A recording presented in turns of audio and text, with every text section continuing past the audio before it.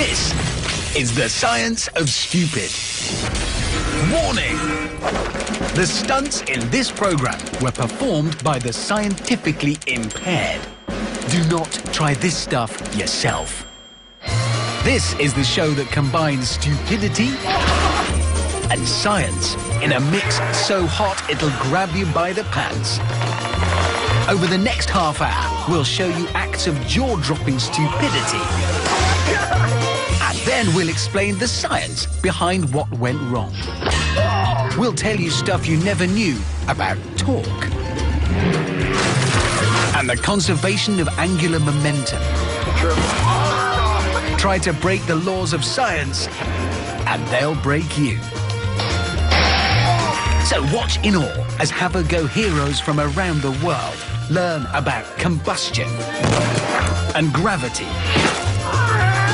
the hard way. Yes, science will whoop you. Wherever you are. Welcome to the science of stupid.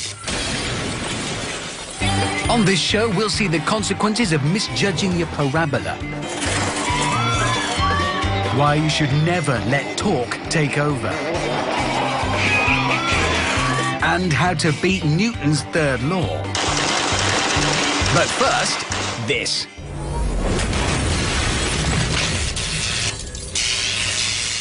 Gymnastics. Not for your average guy.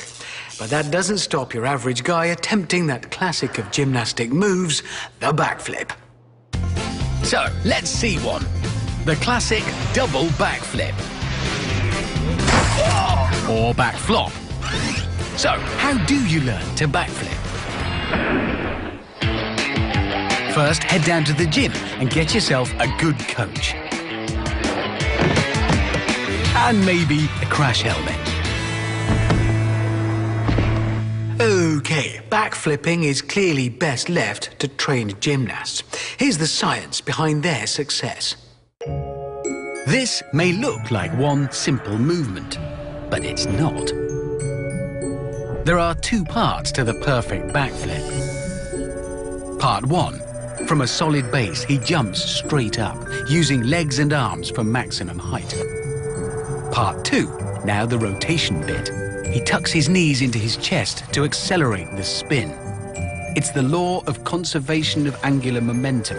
When you halve your length, you quadruple your spin speed.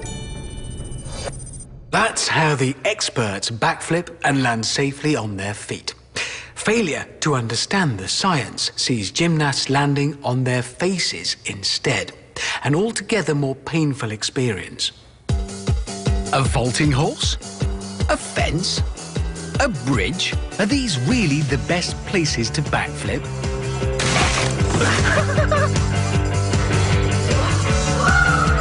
Oh, oh, do something.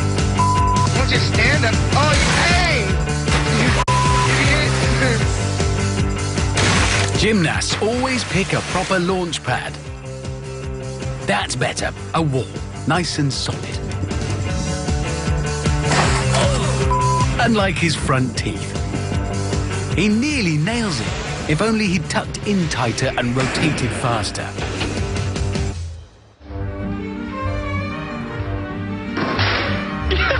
Here's a backflipper who appears to love this religious building so much that he'd rather kiss the flagstones than his girlfriend. You good? But where did he go wrong?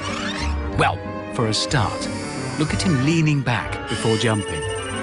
He's mixed his jump up with his rotation. Doesn't tuck in, therefore, he doesn't spin enough. Oh, dude. Hence his impersonation of His Holiness. And remember, boys, backflipping is a great way to meet girls. In the law court.